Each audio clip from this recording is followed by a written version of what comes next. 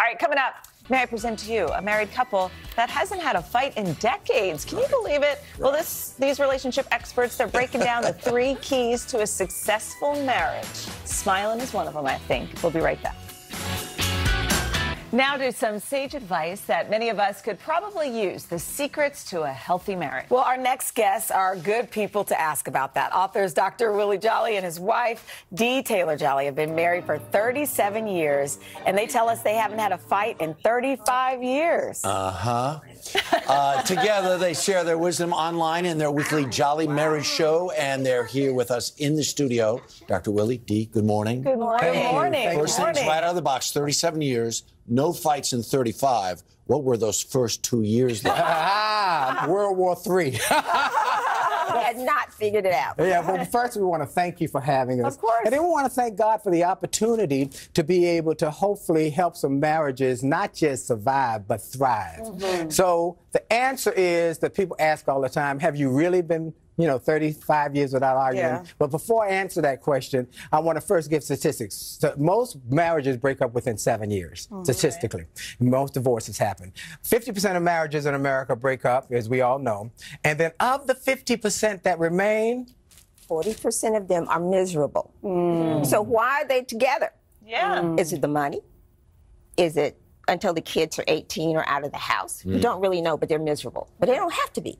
Okay. Well, let's dig what, in. what are the three major pressure points Well, in a marriage? Uh, Before I get there, I want to make sure We're gonna run out of time, so you gotta know. get there. I got. We're gonna get there. Clock's. Uh, Yeah. But I want to give you these couple of things first. First, of where, that it is true that we have not had an, a, a, a argument in over 35 years. Now, those first couple years were like World War III. But mm-hmm. some people misunderstand or mishear that. They say, you've never had an argument? No, that's not true. We have had an argument. We, we've learned some wise systems from mentors. And we, I say something in my speeches that I want people to hear.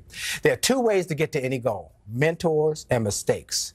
If you uh, you, you don't do them, you're going to end up with knots upside your head. So you want to have mentors. And what we did was wrote a book that's a book of mentor systems that works. And, and, and this was not a book we were planning to write, was it? No, our son encouraged us because he would talk to his friends and he would say, Well, I never heard my parents argue. And I was like, That's a lie. So what are so oh. what are so what do couples need to keep in mind? I don't want to run out of time. Well, well, what, what couples need to keep in mind is there are three pressure points mm-hmm. sex, money, communication. Communication, which is the common thread through all of it, through the mm-hmm. sex and the money. What if you have different styles of communication? Some people want to talk it out mm-hmm. immediately. My husband wants to go and think about it. I'm like, I don't want you to think about it. I want to talk about it now. Well, there are different styles of communication. The key is that you get systems. So what we talked about in the book is systems. You know, let me say this. I've been blessed to be able to speak to major corporations all over the world. I wrote the book, A Setback Set Up for a Comeback. And I'm grateful that I've been able to travel and I have, uh, I'm part of the syndicated morning show, Get Up Mornings with Erica Campbell. I have my XM show. But we have found that there are systems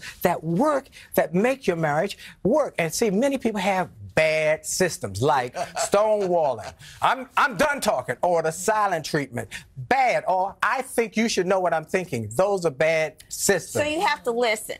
So if one says, I'm not going to talk, another says, I want to talk and I want to run after you, you have to take a deep breath mm-hmm. and you have to be willing to listen and have patience. So communication is the biggest problem in marriage. It's the biggest problem in marriage. So what, what we did when we wrote the book, the biggest chapter is communication. So we give that chapter away to any and everybody because we want to save a million marriages and enhance a million You, marriages. how do you give it away? Well, go to ajolleymarriage.com, ajolleymarriage.com, Okay. and get that chapter. And if you get the book, get two copies, one for each of you, or get the audio book so that y'all Do can it grow together. together. And the next time you're back, we'll talk about sex. We got, Dr. Willie we D. got a whole lot to talk about sex. Thank you All for right. being with us. Absolutely. All right.